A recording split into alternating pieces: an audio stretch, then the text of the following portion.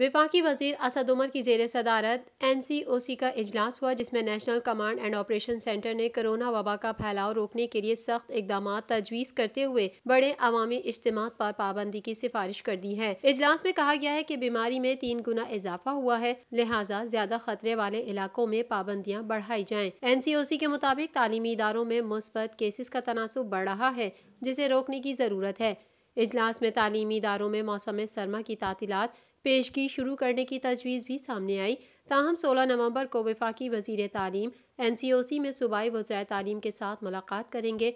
मशावरती मुबासे के बाद सिफारिशात सूबों के साथ शेयर की जाएँगी। समाजी रबते की साइट ट्विटर पर विफाकी वज़ीर मनसूबाबंदी असद उमर का कहना है कि कोरोना वायरस के बढ़ते केसेस के बायस एन सी ओ सी ने एक बार फिर मुल्क में बड़े इज्तम पर पाबंदी की तजवीज़ दी है। मुल्क में तेज़ी से बढ़ते कोरोना के मुस्बत केसेस के बायस जिंदगियाँ बचाने के लिए फौरी इकदाम की ज़रूरत है।